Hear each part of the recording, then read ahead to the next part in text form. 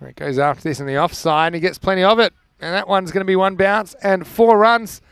And Sangari, you mentioned that he does have potential with the bat. He certainly cracked that one. Didn't try to keep it down. He went up with the bounce. And this one gets for length and punishes it. And there's nobody back here.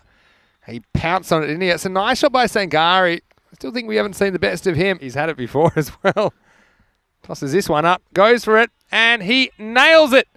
Banked down the ground, over long on Maximo. And now PSV, they've got under a runner ball here in match 32. Can get better the more balls he faces.